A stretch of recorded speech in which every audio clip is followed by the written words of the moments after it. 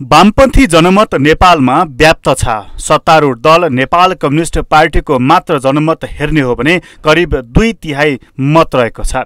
सङ्घीय सरकार मात्र नभई कम्युनिस्ट पार्टीकै नेतृत्वमा देशका सात मध्ये छवटा प्रदेशमा सरकार छ र स्थानीय तहमा पनि कम्युनिस्ट पार्टीकै वर्चस्व रहेको छ।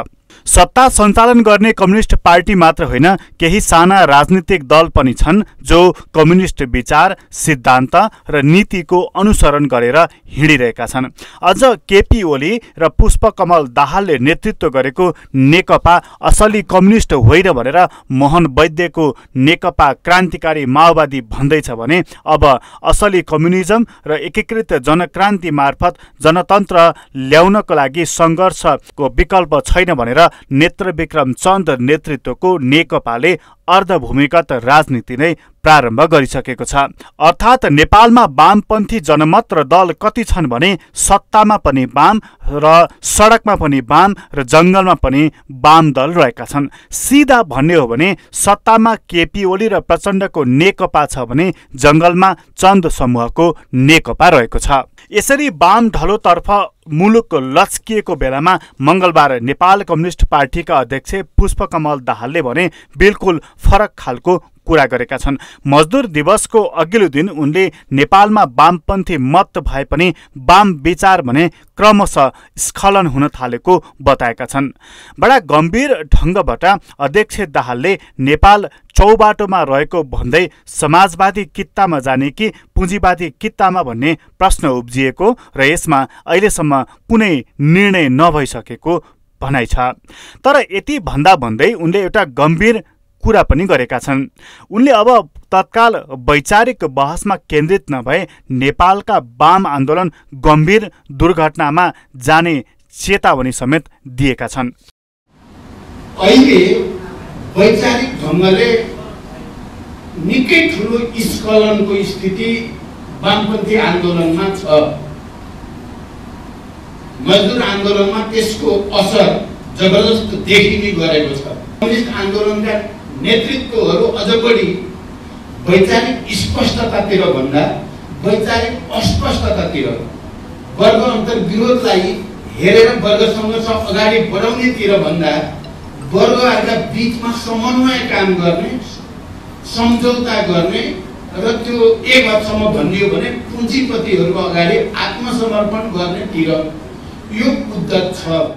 दस वर्षसम्म सशस्त्र युद्ध गरेका अध्यक्ष दाहालले पछिल्लो समय नेकपा एमालेसँग पार्टी एकता गरेर त्यसको अध्यक्ष भएका छन्। दुई पटक प्रधानमन्त्री भइसकेका दाहालको यो यात्रालाई मोहन वैद्य नेत्र विक्रम चन्द गोपाल किराँतीले भने क्रान्ति जोगाउन नसकेको र संसदवादी भाषमा फसेको टिप्पणी गरेका छन्। अझ नारायणमान बिजुक्से चित्रबहादुर केसीहरूले त प्रचण्ड कम्युनिस्ट नै नरहेको बताउन थालिसकेका छन्। प्रचण्ड र वर्तमान सत्तारूढ दललाई कम्युनिस्ट पार्टी नै होइन भनेर साना वाम दलले चर्को आलोचना गरिरहेको बेलामा स्वयं प्रचण्डले पनि वाम विचारमा स्खलन आएको सङ्घर्ष तिखो नपारी भुत्ते पार्न केन्द्रित भएको बताएका छन्। उनले कम्युनिस्ट पार्टीमा आएको विचलनको लागि चिन्तित भएर यसो भनेका हुन् वा यो केवल भाषणको विषय मात्र बनेको हो भन्ने कुरा अझ प्रष्ट भइसकेको छैन। तर अन्य वाम दलले सत्तारूढ दल कम्युनिस्ट होइन भनेर आलोचना गर्नु र प्रचण्ड स्वयंले पनि यसलाई स्वीकार्नुले भने गम्भीर अर्थ दिएको छ। यसो भए के त नेपालको कम्युनिस्ट विचार स्खलन आएकै हो त? वा कम्युनिस्ट पार्टीमा कम्युनिस्ट चरित्र नै छैन त? प्रचण्डहरू चाहिँ संसदवादी बन्नुभयो। कम्युनिस्टको नाम चाहिँ राख्नुभएको छ।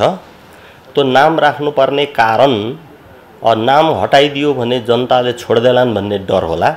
तर उहाँहरूको विचार चिन्तन क्रियाकलाप चरित्र गतिविधि सबै चाहिँ गैर कम्युनिस्ट अथवा कम्युनिस्ट विरोधी संसदवादी बनेको छ र उहाँले आफ्नो सन्दर्भमा त्यसो भन्नु सही हो। उहाँलाई हामी पनि कम्युनिस्ट भन्दैनौँ। यदि प्रचण्ड कम्युनिस्ट रहिदिएको भए हामीसँगै हुन्थ्यौँ छुट्टिनु पर्ने थिएन। संविधान सभाले जारी गरेको संविधानमा नै नेपाल समाजवादतर्फ उन्मुख भएको कुरा उल्लेख गरेको छ। राजनीतिक दलहरूको सहमतिमा तयार पारिएको यो साझा दस्तावेजमा नै समाजवाद नै अबको गन्तव्य हो भनिरहँदा स्वयं अध्यक्ष दाहाललाई भने नेपाल पुँजीवादतर्फ जाँदैछ भन्ने भान कसरी भयो? र करिब दुई तिहाई मत भएको सरकारको बागडोर सम्हालिरहँदा सत्तारूढ दल नेकपालाई नेपालमा गरिब निमुखा वर्गको हितमा काम गर्न वर्ग विहीनताको लागि लाग्न पावर एलिटको घेरा तोडेर श्रमिक मजदुरको आँगनमा पुग्न केले रोकेको छ? के यो वाम विचारमा आएको स्खलनले नै रोकेको हो त?